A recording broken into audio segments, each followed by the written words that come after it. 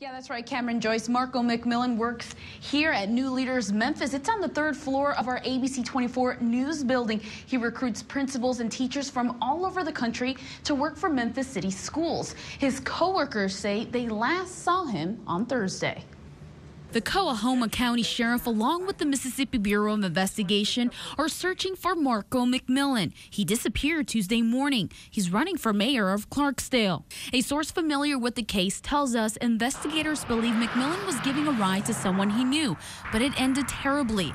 They believe the man killed McMillan, dumped his body along a river levee west of Clarksdale, and took off in his car.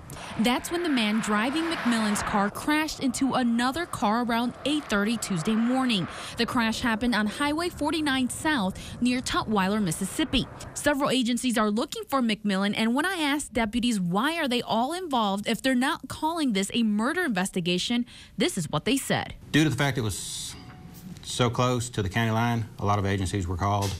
Um, so it does occur from time to time, yes. McMillan's last Facebook post was yesterday. He wrote, quote, if you must judge me, judge me not by who I have become, but rather judge me by the difference I attempt to make in the lives of other people. The 34-year-old's family refused to speak with us on camera. McMillan's mother was in tears and family told us she's not doing well.